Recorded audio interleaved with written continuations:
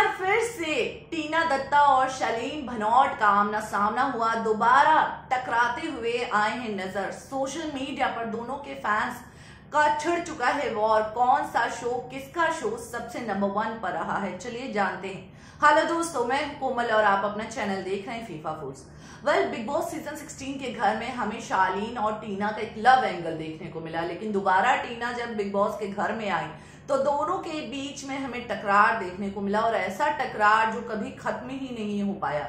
अब इसी बीच हम सभी को पता है कि कलर्स पर बेकाबू शो शालीन भनौट का आता है और इसी के साथ टीना दत्ता का एक शो हाल ही में शुरू हुआ है।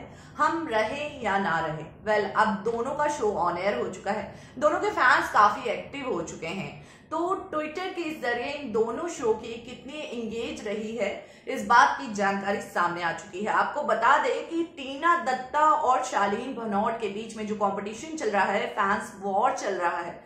इसमें टीना दत्ता ने बाजी मारी है। हैशटैग टीना दत्ता जो है उनतीस पॉइंट थ्री के से ज़्यादा ट्वीट किए जा चुके हैं। वहीं शालीन भनौट का अट्ठाईस पॉइंट आठ के से ज़्यादा ट्वीट किए जा चुके हैं।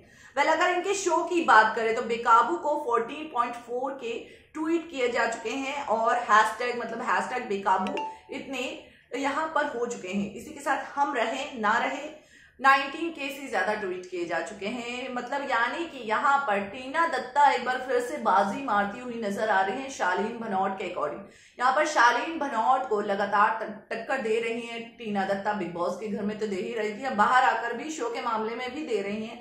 फैंस है जो टीना दत्ता के ही सपोर्ट में यहाँ पर उतरे हुए हैं तो इस तरह से शालीन भनौट है जो एक बार फिर से पीछे रह गए हैं। और टीना ने बाजी मार ली है।